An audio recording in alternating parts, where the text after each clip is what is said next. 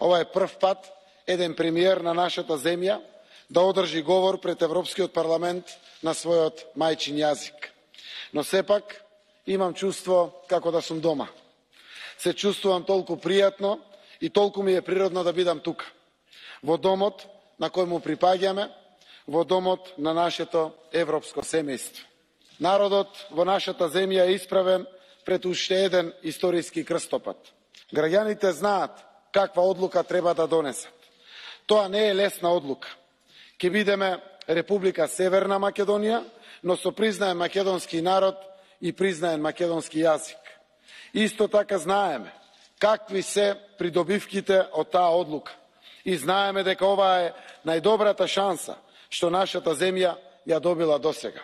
Приклучувањето кон ова семејство ќе значи поголема стабилност за сите нас и поголем просперитет дома.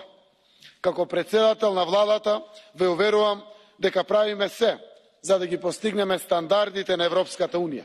Европската идеја е водечка сила и инспирација да ги решаваме горливите отворени прашања во регионот. И на вистина, сакам да му се заблагодарам на мојот пријател Алексис Ципрас, знаејќи дека и за него не е лесно. Тоа е она што треба да направат одговорните лидери. Имавме деликатни, навистина чувствителни преговори.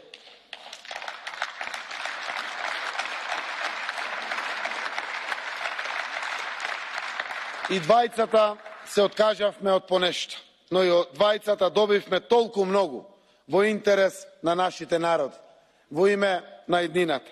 Референдумот на 30 септември е многу повеќе отколку само референдум за договорот од Преспа. Тоа е референдум за еднината.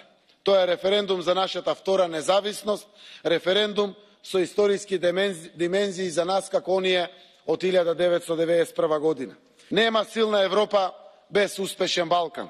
Успешен Балкан е Балкан интегриран во Европската Унија. Оваа визија не мотивираше